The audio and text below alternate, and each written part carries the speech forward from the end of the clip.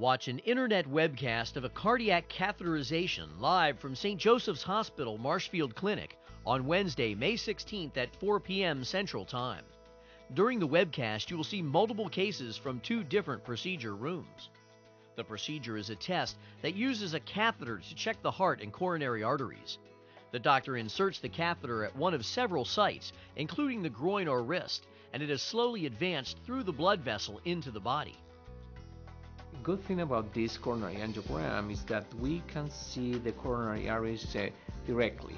We can see the shape, the morphology of the coronary arteries directly.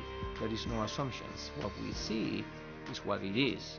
And uh, based on that, we can, uh, with uh, significant accuracy, uh, make the right decisions for this patient. If the coronary arteries are blocked, doctors can use a catheter, guide wire, and balloon to open them and improve blood flow to the heart. This is just one example of how the procedure can improve life for patients. In fact, the majority of patients will tell me, oh, I, I really didn't know that you can feel that good.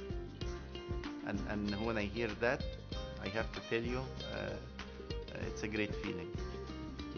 OR Live makes it easy for you to learn more. Just click on the Request Information button on your webcast screen and open the door to informed medical care. Join us on Wednesday, May 16th at 4 p.m. Central Time for a cardiac catheter stenting.